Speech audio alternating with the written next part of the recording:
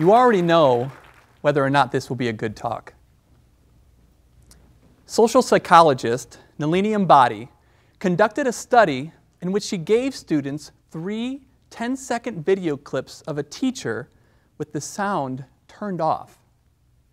She then had the students evaluate the teacher's effectiveness based just on those 10 second clips.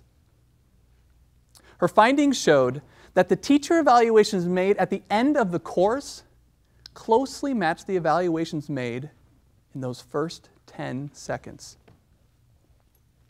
So, again, you already know whether or not this will be a good talk. You've already decided. But what if our expectations didn't just predict reality, but created it? This idea has implications for all of us, but it's especially true in our schools. Educational researcher Dr. John Hattie published a massive international study, including over 1,200 meta analyses containing over 50,000 studies with a student population size of over 80 million.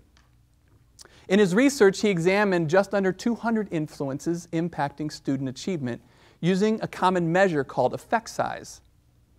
He found that an effect size of 0.4 was equivalent to making one year's growth in a year.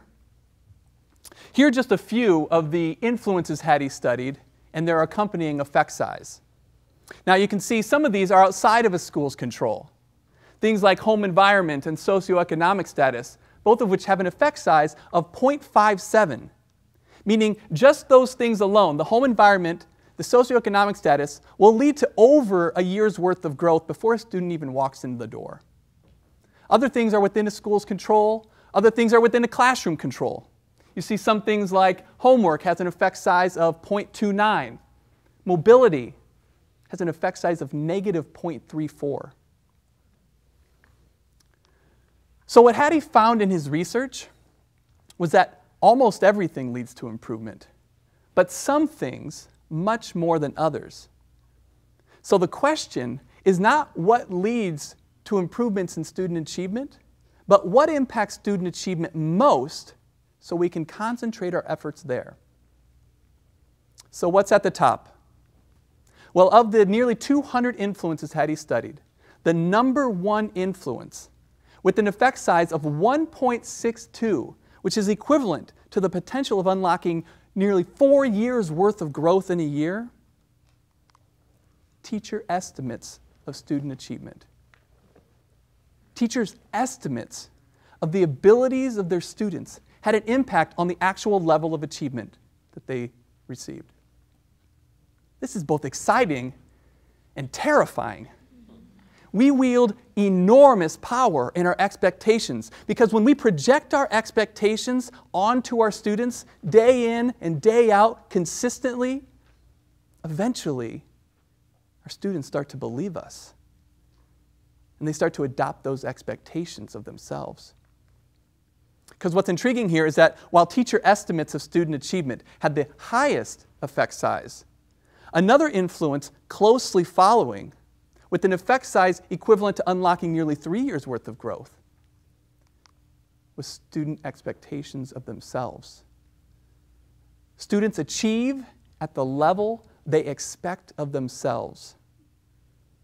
So we have these two super influences here teacher estimates of student achievement and student expectations of themselves, and these two things woven together have the potential to unlock enormous growth in our students and can be the catalyst to great change in our schools. But this isn't just about our schools. How does this idea apply to you? What do you expect from the people around you? What do you expect from the people you work with? from the people you lead? What do you expect from yourself? And if our expectations create reality, then what is the reality we are co creating here? Are we satisfied? My friends, I believe our world is desperate for a new creation. In my work, I see children, adolescents, teenagers crying out for new expectations, not just higher expectations, but expectations of greater depth.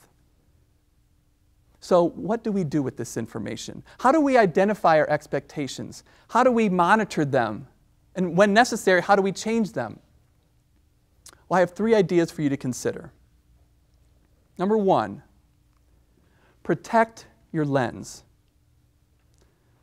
Low expectations is a black hole that pulls you in so slowly you don't even know you're being crushed, nor that you're crushing those you're intended to serve.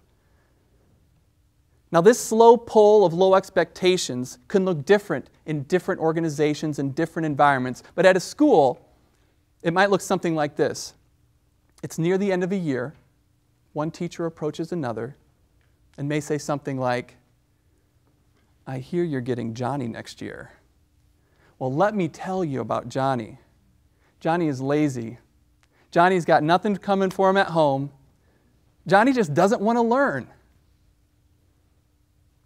It's almost as if this teacher says, Here, I see this student through a lens of low expectations and I'm going to pass it along to you. And too often we accept it. Do not. Avoid those conversations where the seeds of low expectations are planted. Avoid the locations where those conversations take place, and when possible, avoid the people who spread those seeds. Two, a challenge for you. The next time you see a teenager walking down the street, perhaps with a shock of bright purple dyed hair hanging over their face, perhaps with a lot of tattoos or piercings, or perhaps God forbid, with their pants hanging a few inches lower than their waistline. Stop and take a moment. Move any snap judgments and preconceived notions from the shadows of mindlessness and into the light of awareness. Observe them and then exchange them with something new and beautiful. Now, there's a term for this, for this observation of one's own thoughts for the shine, shining a light onto your own awareness. It's called mindfulness. Practice mindfulness.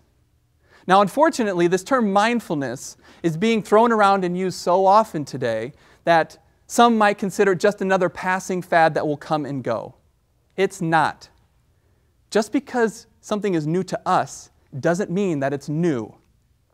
Mindfulness has been around for thousands of years in a variety of different terms or whatever you want to call it.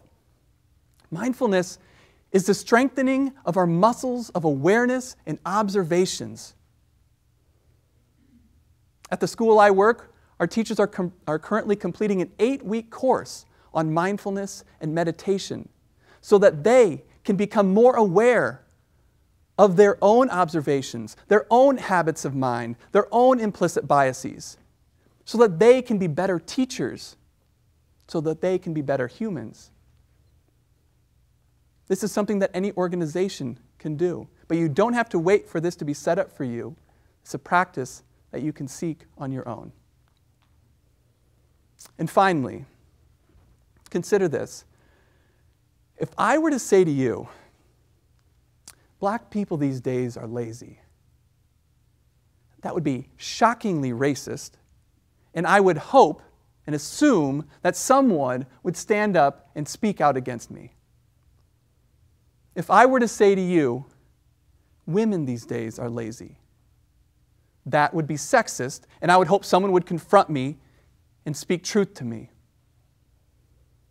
If I were to say to you, kids these days are lazy, what would the response be? Would it be different? I would hope that someone would speak out against me, but I'm afraid they might not. In some of the conversations or situations where a kids these days type of statement has been made, there's sometimes been silent consent or even outright agreement. Somehow, this ageism, or more specifically, this youthism, has become socially acceptable. Reject youthism. Reject any generalization about low expectations about any young person. Because if you know one child, one adolescent, one teenager who doesn't meet that definition, then the statement is false. I work in an alternative high school, a high school full of kids who have often been cast aside with some of these negative youthist labels of low expectations.